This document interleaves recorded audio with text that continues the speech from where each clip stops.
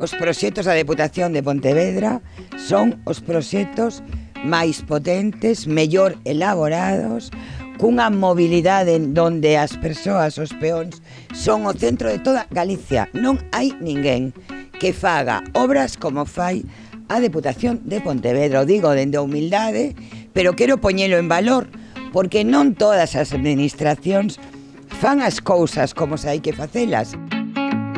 Cando viñemos a inaugurar o que eu califiquei dunha avenida como Manhattan, o alcalde de Silleda e a veciñanza de Silleda nos comentaron a necesidade de que aquí houbera unha rotonda que permitira un tránsito seguro, non? De aquel día nos comprometimos e hoxe estamos aquí para decir que o que comprometemos o facemos e aí está a proba.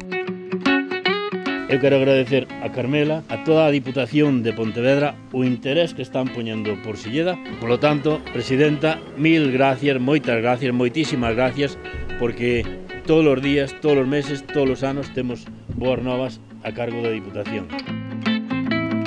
Cando estaba xa en marcha, as técnicas e os técnicos da Deputación de Pontevedra viñeron a Silleda para analizar a necesidade de facer unha senda peonil que era unha demanda que nos tiña feito o alcalde xa fai meses. Ese mismo día estivemos, ese mismo día eh, acordamos como debería ser a senda e hoxe o proxecto está en redacción. Cumprimos con Silleda. O facemos porque ten dereito o povo de Silleda a ter bons equipamentos, boas infraestructuras, porque é unha obriga a facelo e dende logo o facemos cun modelo do século XXI.